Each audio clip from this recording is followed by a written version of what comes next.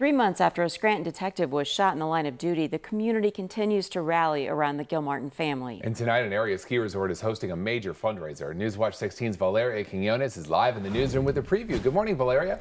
Good morning, John and Mindy. You may have seen the big banner in downtown Scranton for the gathering for the Gilmartins at Montage Mountain tonight. Back in January, Scranton detective Kyle Gilmartin was shot in the line of duty, and northeastern Pennsylvania is still showing its support to the officer and his family.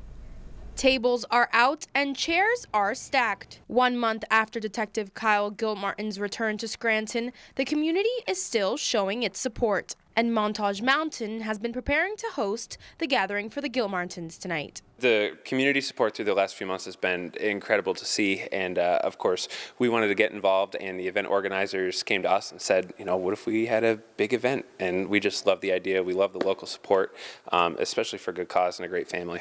There will be food, music, and more. Money raised goes straight to the Gilmartin family. Organizers promise a night full of surprises. Yeah, um, a lot of things going on. Of course, there's food and beverage throughout the evening, uh, basket raffle, silent auction. Uh, the live entertainment lineup is wild. A bunch of great local bands coming to support the, the community, the family. It's, it's going to be great.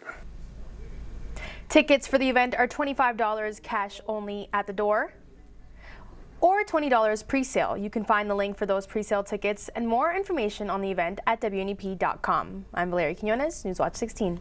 Such a great event, a great cause. Valeria, thank you. Thanks, Valeria.